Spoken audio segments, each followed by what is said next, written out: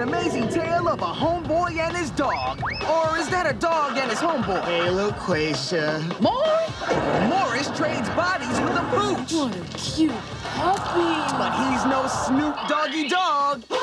Love on a two-way street. Homeboys. I have some real dog-like qualities myself. Stop begging. Back to back with Moesha, all new UPN Tuesday. Tonight on the KUSI News at 10, we'll